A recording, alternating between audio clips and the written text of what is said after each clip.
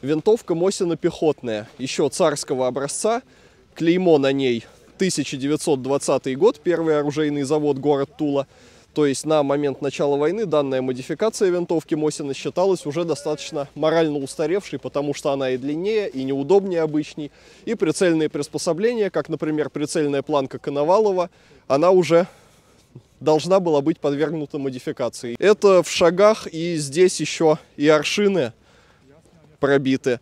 И она была для стрельбы, что самое интересное, по навесной траектории. Даже предусматривалась стрельба. То есть, когда вырез совмещался с мушкой, можно было стрелять, ну, то есть, как мы все знаем из физики, что любая пуля, любой снаряд, запущенный с определенным импульсом, он летит, и его все равно земное притяжение на дистанциях притягивает, то есть практически по дуге.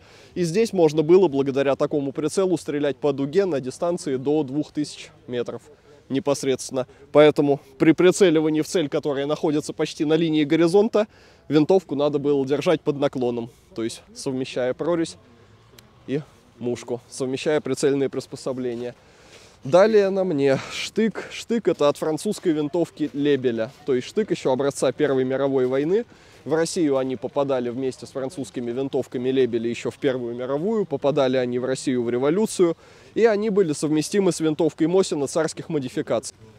Тут просто у меня достаточно сложная система из обрезка камеры, что, в принципе, исторически аутентично для его фиксации. Достаем непосредственно штык. Удаляем из царской винтовки Мосина штатный шомпол, то есть путем выкручивания из фиксирующего паза. И непосредственно ставим штык. То есть на военных фотографиях и кинохрониках вы можете увидеть применение штыков для винтовки Лебеля вот в таком вот варианте. Сегодня я в образе военнослужащего Тульского рабочего полка, то есть по факту ополченческой части, созданной в Туле в экстренном порядке в 1941 году. Одежда на мне ввиду сильного дефицита униформы и вооружения в 1941 году ввиду кризисных ситуаций абсолютно гражданская, то есть стандартные гражданские ботинки, брюки и ватная куртка на начало 40-х годов 20 века. И далее, если рассказывать об о моем снаряжении и вооружении.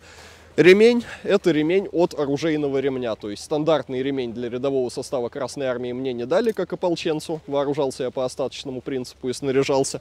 Противогазная сумка, упрощенная образца 1941 года, с противогазом ШМ-1 и непосредственно бандольер. Бандольер оригинальный тех лет, то есть это упрощенный нагрудный подсумок под патроны для винтовки Мось. Шапка также абсолютно гражданская, но это такая инт-пошив, потому что много головных уборов на тот момент изготавливалось людьми по собственной инициативе и за свои средства.